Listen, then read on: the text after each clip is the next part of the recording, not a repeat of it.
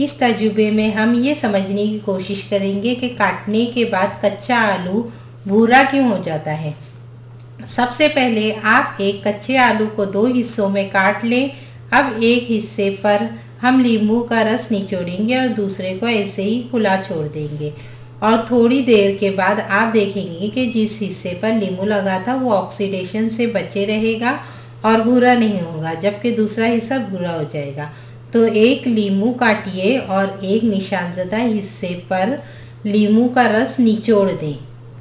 लीमू में तेज़ाबी खासियत होती है जो ऑक्सीडेशन से इसे बचाता है। फिर दोनों हिस्सों को कुछ घंटे ऐसे ही खुला रहने दें। आपको लीमू निचोड़ा हुआ हिस्सा जू का तू नज़र आएगा और ऐसे ही रखा हुआ हिस्सा भूरा हो जाएगा।